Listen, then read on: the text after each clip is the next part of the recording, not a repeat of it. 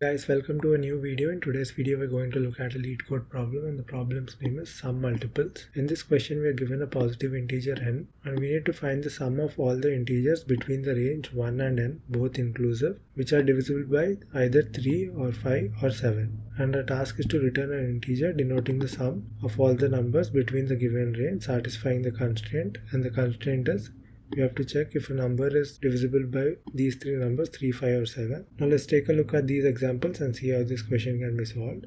Let's take the same example given to us. This is n given to us as 7 so the range will be 1 to 7 right as mentioned in the question both inclusive. So we run a for loop. So here i will represent the numbers between the range 1 and n. So i will start from 1 and until it is equal to n. So here we, it will run from 1 to 7 and now we have to check if i is divisible by 3 5 or 7 so divisibility i'm going to use modulus operator. So if at least one of these conditions pass i'm going to declare a variable sum and add i to it. So sum will be initially 0 so first i is equal to 1 and it will check till i is equal to 7 so 1 is not divisible by 3 5 or 7 2 is not divisible by 3 5 or 7 3 is divisible by 3 so add i to sum so sum which was initially 0 you add 3 to it. And next iteration 4 4 is not divisible by 3 5 or 7 5 is not divisible by 3 5 is divisible by 5 so add 5 to the sum. 6 is divisible by 3 so add 6 to the sum.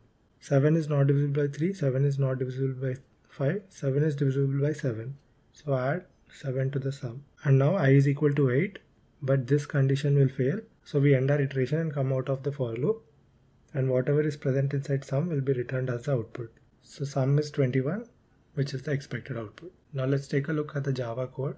Coming to the function given to us, this is the function name and this is the integer n given to us and a return type is an integer denoting the sum of the numbers between the range. So I'm declaring the output which is initially 0. I'm going to name it sum which is being returned here. I'm using the for loop within the given range.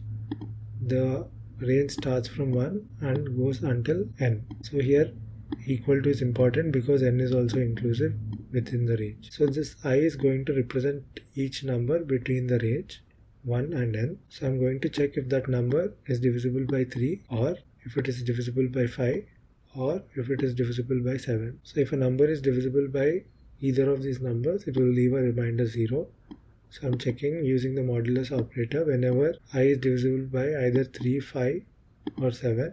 If it is leaving a remainder 0 then that is a divisible number and I'm using the OR operator because I have to check at least one condition passes I can consider that element to add it into the sum. So if this condition passes for each i I'm adding i into the sum. This for loop will happen for all the elements between the range 1 and n and finally outside the for loop I'm returning the sum which is the expected return type. Let's run the code. The test cases are running. Let's submit the code.